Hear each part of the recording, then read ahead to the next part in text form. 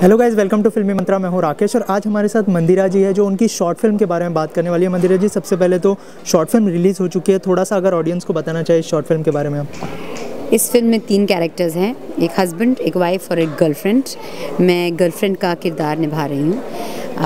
ये एक बहुत ही एजी कैरेक्टर है, बहुत ही प्रोवोकेटिव कैरेक्टर है और she is a woman who knows what she wants and she expresses it तो इस कैरेक्टर के बारे में मैं बस इतना कह सकती हूँ।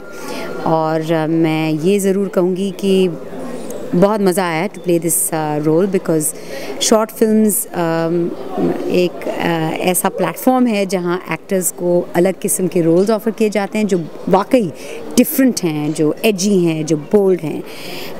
And that's the reason why I took this film on क्योंकि जब uh, ये नरेशन मुझे दिया गया uh, कुशल ने बहुत बढ़िया नरेशन मुझे दी और at the end of the narration I just said I to be a part of this film I don't know what role you offering me but I like to be a part of it लेकिन digital platform इन दिनों काफ़ी अच्छा कर रहा है। तो आपको लगता है कि फीचर फ़िल्म के मुकाबले जो है डिजिटल प्लेटफॉर्म वो मतलब मुकाम पा लेगा? मैं बस ये कह सकती हूँ कि डिजिटल प्लेटफॉर्म की अच्छी बात यह है कि it's it's entertainment on demand क्या होता है कि आप अपने फ़ोन पे कहीं भी आ, कभी भी आ, एंटरटेन हो सकते हैं और अगर आपको कोई कंटेंट अच्छा लगा तो आप बार बार देख सकते हैं। That's the beauty of entertainment on demand मैं मैंने अपनी शुरुआत की थी टेलीविज़न के साथ और मैं अब न्यूज़ के अलावा टेलीविज़न बहुत कम देखती हूँ क्योंकि I rather watch it at my time download something and and watch it at my time how many ever times I want at my at my time so that is what a lot of people now are preferring